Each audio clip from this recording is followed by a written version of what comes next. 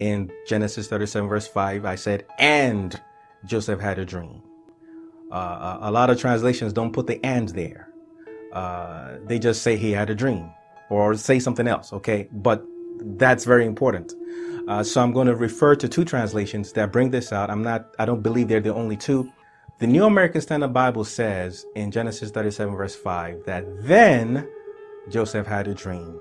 The King James Version says, and Joseph had a dream. The words then and and are conjunctions. And the way conjunctions work, basically, a conjunction joins two words together or two things together. Okay, so basically, uh, what comes before a conjunction is connected to what comes after it. Okay, so in this case, they hated him.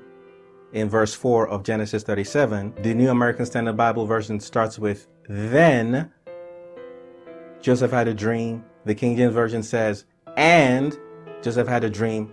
The point I'm trying to make is that the hate triggered the dream.